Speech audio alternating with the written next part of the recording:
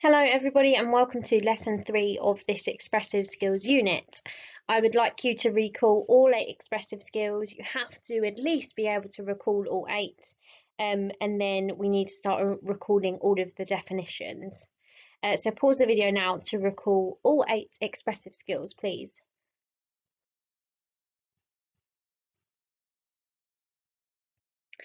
Okay, so let's look and have a look at where we've been, where we are now, where we're going. Uh, so we've learnt um, focus, projection, spatial awareness and sensitivity to other dancers.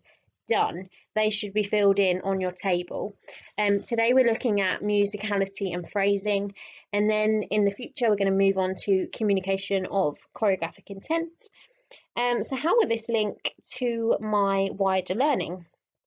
This will uh, deepen our learning of dance because we are learning the performance skills, understanding contemporary dance, understanding some stylistic features of contemporary, and today we're going to look at another um, pioneer in the American modern dance movement.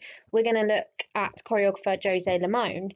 Um, now, last lesson we looked at Merce Cunningham, um, so I encourage you to make sure that you're still reminding yourself of all of that information. And once we get back into the studio, we'll be actually practically exploring Cunningham and Limon.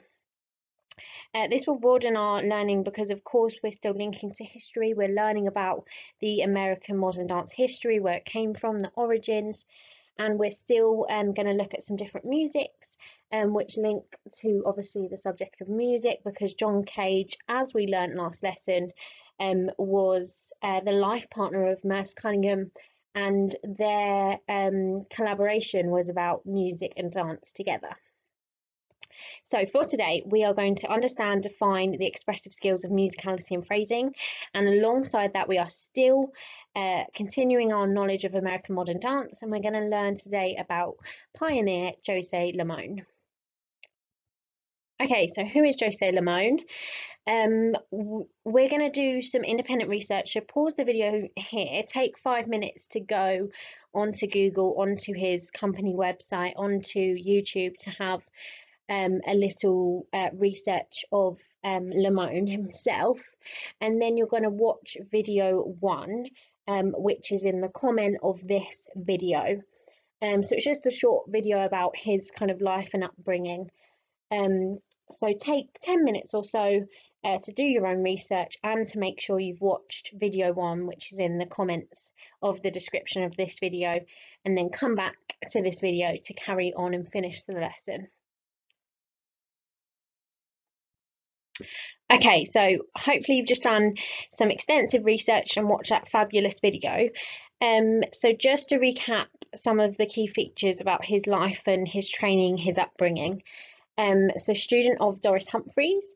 Um, he um, created a technique that fought against um, the classical ballet technique. Um, so like many of the modern dance pioneers, moving away from those rigid rules of ballet. Um, and he went on to become one of the most renowned modern dance choreographers, um, a main pioneer like Merce Cunningham. Um, so his technique, so simply called Limon technique, uh, the dance technique he created focused on movement of the breath throughout the body, uh, the dynamic use of weight in each body part, and the fluid succession of one movement into the next. It, for me, is such an enjoyable style and technique to actually dance because it's such a release based um, style and technique and it, it really feels good to dance. Um, so when we're back in the studio we will be experiencing this.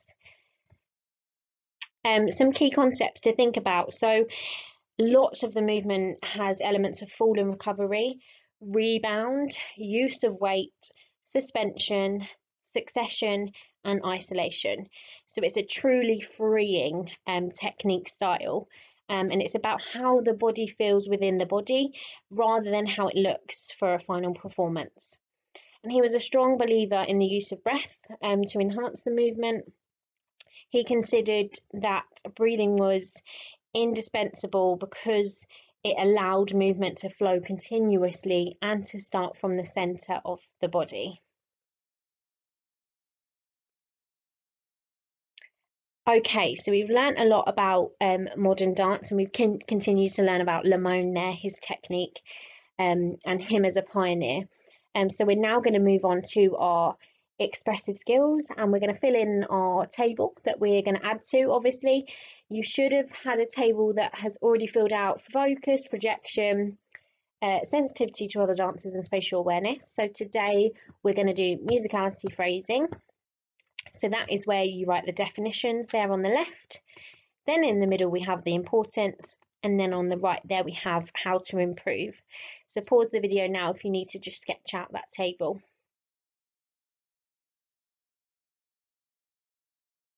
Okay, um, let's go for phrasing then, defining phrasing. The way in which energy is distributed in the execution of a movement phrase. So this is one of the hardest um, expressive skills to get your brain around. And it's actually so much easier if you have a practical example of this. Um, I'm going to try my best to describe it verbally, uh, but when we get back in the studio, it becomes so much clearer what phrasing is when you actually have um, a movement phrase and you do change the energy in it. Um, however, so if you think about a movement, um, actually, let's we come on to this in a second. So let me just go through this this slide and then I'll explain it. Um, so simply the definition. Um, so what it involves is music dynamics, energy, and pace.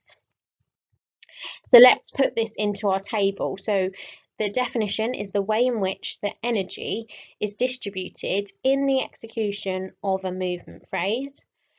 And here's my little description. Um, performing a sharp turn into a slow kick. Now, those are dynamics. However, if you think about the energy it takes to do those dynamics, um, phrasing is about where the peaks and valleys are, where the energy is in the phrase.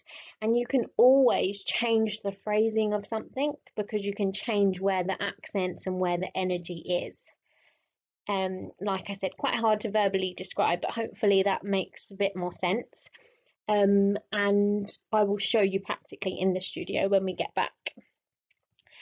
Um, so how we improve phrasing, we practice with a range of dynamics, changing up the dynamics to change up the energy in phrasing, uh, lots of repetition and lots of rehearsal to master it as a skill, and change where the energy is in the movement.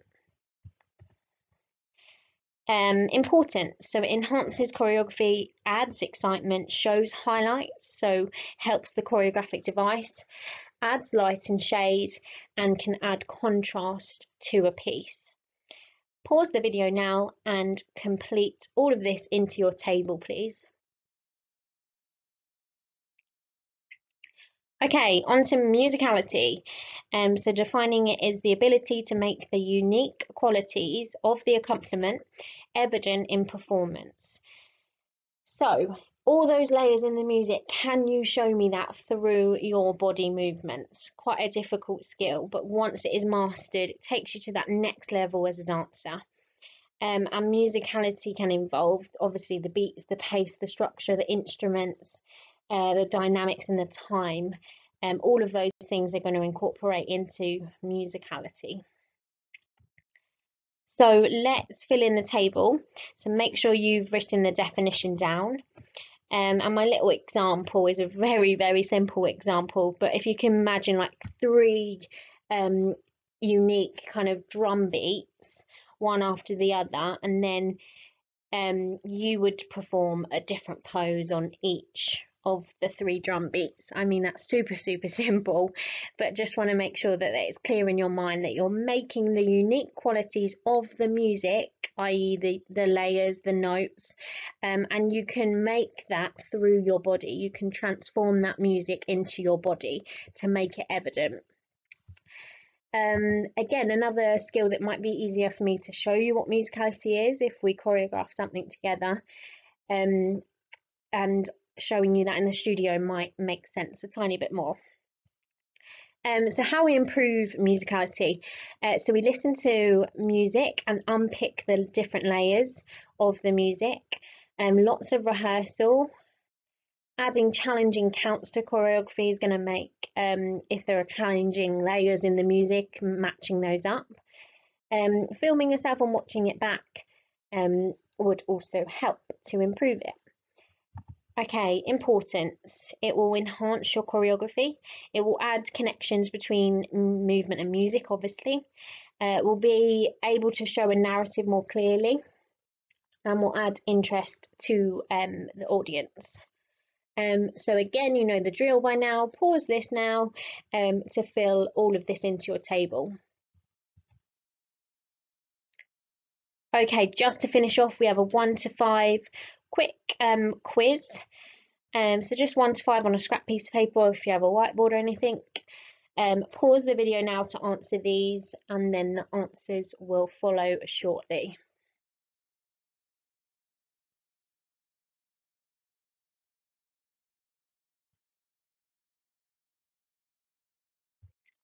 Okay, first up, the definition of phrasing. So the way in which the energy is distributed in the execution of a movement phrase. Number two was to define musicality. So the ability to make the unique qualities um, of the accompaniment evident in performance. Uh, number three, um, defining sensitivity to other dancers, so awareness of and connection to other dancers. Uh, number four, um, spatial awareness. So you can, why it's important is that you will reduce the chance of injury. And an example of projection, I've just popped in there. So kicking your leg out to the front whilst lifting your chest and chin and sending energy to the audience. So clearly an example of a movement where the projection is evident in that. Obviously there's some with four and five slight alternatives um, so you might need to rewind the video just to check some of your answers. Um, that's the end of the lesson today. Well done everybody and I will see you next lesson.